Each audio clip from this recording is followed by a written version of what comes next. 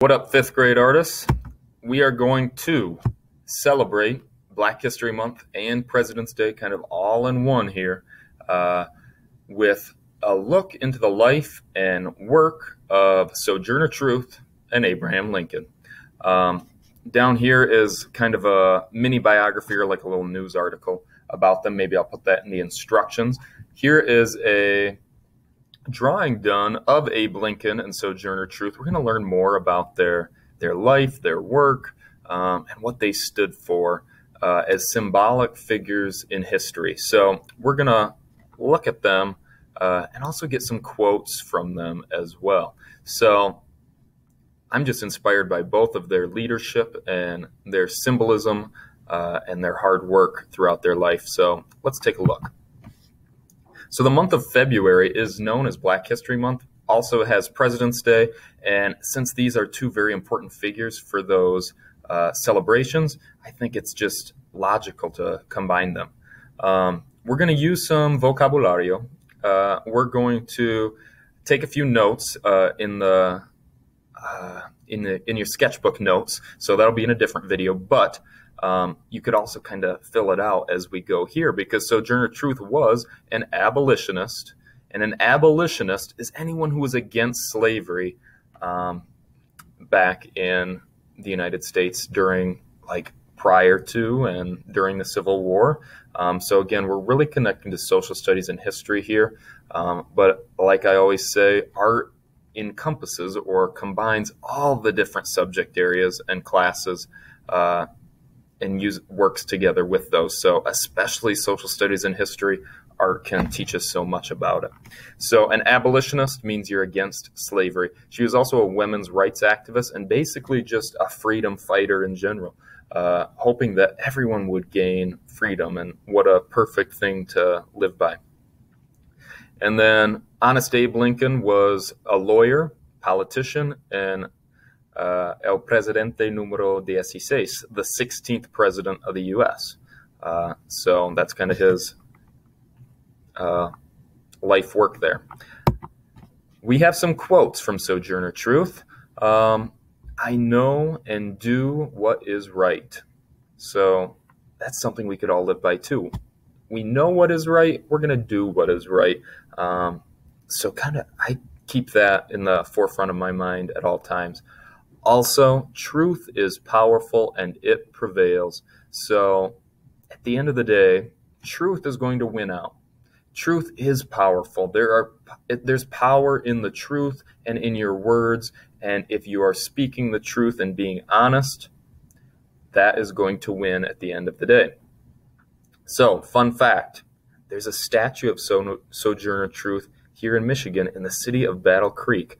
Uh, and this is that statue there. And there are quotes and amazing uh, informational plaques about Sojourner Truth there in Battle Creek.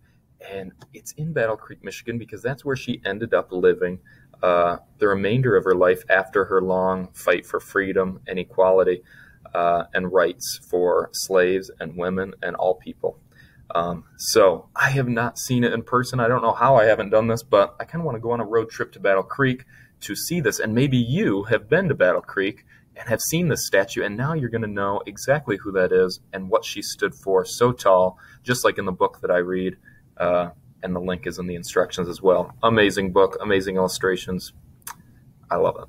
All right, so there's some quotes from Sojourner Truth. You're going to pick one or both. We have some more uh, quotes from Abe Lincoln because um, he was a president. They did kind of use more of his quotes or wrote them down.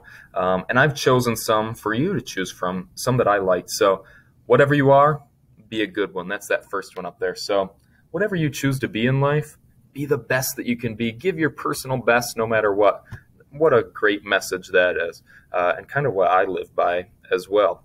Um, leave nothing for tomorrow, which can be done today. So basically, if you have time to do something today, especially if it's something helpful or kind, uh, let's do it today instead of pushing it off till tomorrow because it's easy to push things off again and again and kind of procrastinate. But if you have time to do something today, especially if it's productive and helpful, uh, try to do that today. Um, Again, something I try to live by. Um, those who deny freedom to others deserve it not for themselves. What do you think that means? Hmm. Especially in terms of history, during this time period of slavery, what do you think that means? So pause and maybe think about that. Those who deny freedom to others deserve it not for themselves. Hmm. Do you think it could mean if you uh, are treating people so disrespectfully and uh, owning slaves and uh, treating them not even as human beings, would would you deserve freedom yourself if you can't help others or see other people as needing freedom and equality? Hmm, something to think about. Uh, here's a good one: stand with anybody that stands right. Stand with him while he's right, and part with him when he goes wrong. So kind of like choose who you're who you're with, who you're aligning yourself with. If if they're in the right, if they're in the positive side of things, you can stay with them. But if they start to stray and you know it's not right, maybe it's time to part ways. I like that quote too. We cannot escape history. That's a great quote too. You can't escape history. These things happen. There was slavery, but can we overcome it? Can we work toward a better tomorrow? Absolutely. And this especially was important during this time because we can't escape the fact that there was slavery, but now if we can free the slaves and give equality uh, and rights to all, that will not erase history, but it will make things better. Um, so place your or put your feet in the right place and stand firm, kind of like Sojourner Truth message in the book. Uh, stand firm, stand tall for what you believe in and what you think is right. So never give up uh, fighting for what you believe in. Moral of the story, love that. All right, what you need in your work of art. So again, here's that book that I read that I love so much. Uh, you're going to include a portrait of Sojourner Truth, a portrait of Abe Lincoln. So portraits, pictures of people or animals, uh, you can use both. Um, quote from Sojourner Truth. You can pick one from the slideshow, go back, pause, do your thing. Quote from Abe Lincoln. You can pick one uh, as well. You don't have to just pick one. You can pick more than one. Uh, the American flag is incorporated somewhere in your work. Do you? Does that mean you have to have all 13 stripes and all 50 stars? No, it does not. Uh, if you have some stars and stripes in there, that is symbolic, a symbol of the American flag, the United States flag.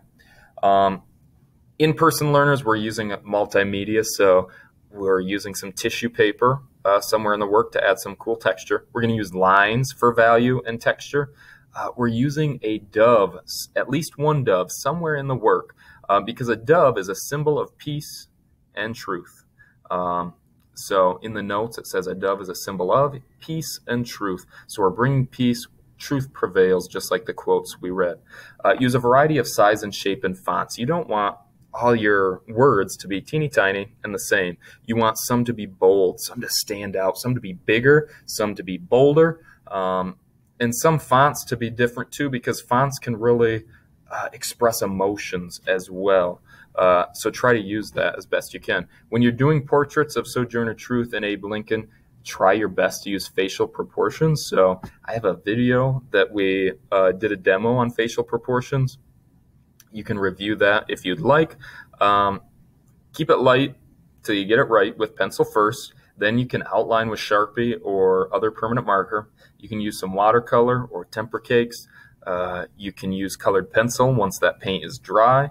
And then, of course, you can collage on some scraps and tissue paper.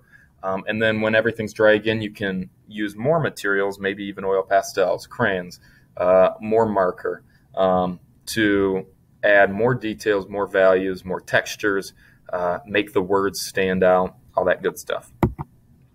So back on February 1st of 2019 to honor um, the first day of Black History Month in that year, Google did my new or my favorite uh, Google Doodle of all time. It's honoring Sojourner Truth. Um, so Sojourner Truth is here as like that O in Google, so you can see the word Google. Um, I created this project before I saw this Google Doodle. Um, believe it or not. And look at these. What are these white birds flying in the background? Those are doves, a symbol of peace and truth. Uh, and then we have other freedom fighting females here. Cool font. I mean, it's actually like Google read my mind and created a Google Doodle that I had to in- include in the slideshow. So, uh, Google, well done to you, uh, using symbols and portraits and words and fonts to celebrate Black history. Love it. Well done. Uh, so here's an example. First, I did pencil. Uh, then I went over with Sharpie. I used lines to create value and texture, and then I added the quotes and the text, a variety of size and font. Um, again, yours does not have to look like mine at all. That's the beauty of this. There are requirements that we have to hit on the project, but you can express that in any way you'd like. You can choose different quotes. You can choose different portrait styles. You can choose different uh, fonts, different ways to show the flag, different ways to do the background, different ways to use symbols um, and the flag and all that good stuff. So your composition does not have to be vertical like mine. It could be horizontal. Uh, so you're hitting the requirements, but expressing it in different ways with your personal choice. Um, then I use some glue and tissue paper uh, for that extra texture and collage. You can see it there in the image. Then I use some watercolor and tempera cakes to paint over the composition. Um, and then once it's dry, maybe you lost some of your uh, words, you could go back in and touch those up, details and such. Um, and then my finished example, I added more Sharpie, some colored pencils, uh, I added some more quotes, actually, some more symbols. You can see I actually have some symmetry here as well. I wanted to do some symmetry and balance. Uh, balance is another great uh, principle of design. So I wanted two doves, one on each of their hands. So their hands come together in the middle because they work together to fight for freedom. Um, then they're lifting up a dove, one on each side, uh, and they're kind of facing out, so that's symmetry and balance. They're equal heights here because they stand up tall for what is right. Uh, and then I have the flag going. This is not how the flag actually looks, but uh, it is stars, it is stripes, and that's how I wanted to represent it. Um, again, it's your choice as well. So I want to show you some student examples. So your composition can be either horizontal or vertical. So this one was like in progress.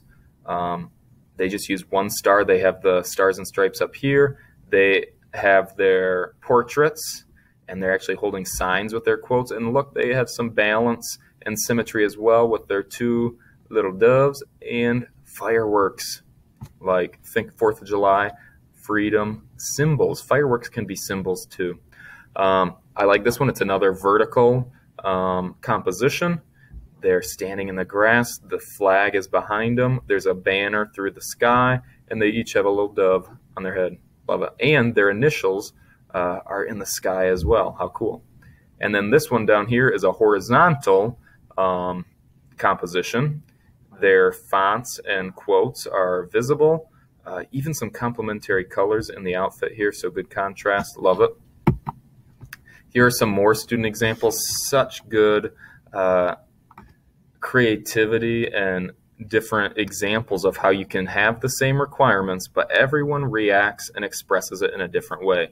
Uh, this one, we got portraits there flying on a giant dove. So flying for freedom. And look, they use tissue paper uh, and some painting techniques to create fireworks off to the side here. And that kind of represents the flag and the tail. Uh, I love this. It looks like a poster for freedom. This, they took one person and united it uh, with balance and symmetry. So half of the person is Sojourner Truth, half is Abe Lincoln. They worked together, they fought together for the same uh, ideals and purpose. Love that. Uh, they kind of made a patchwork quilt in the background. I could go on and on, but I want you to maybe pause and look at the different um, examples here that different students had. I wish I had more examples because I just love it, and I know that you're going to come up with something excellent as well. So continue to pause, rewind, go back through this slideshow, through the notes in your sketchbook, uh, do some prep in that sketchbook before you do your final copy so that you can understand where you want your quotes, where you want your portraits, where you want your flag.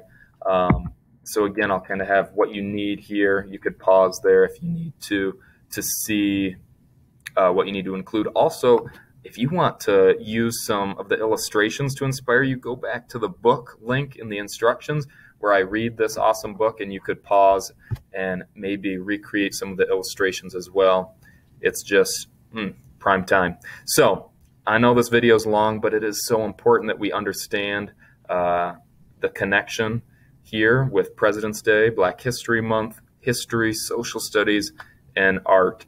Uh, so keep up the good work, mis amigos. I can't wait to see what you come up with. You're the bomb.com. Adios. Good luck.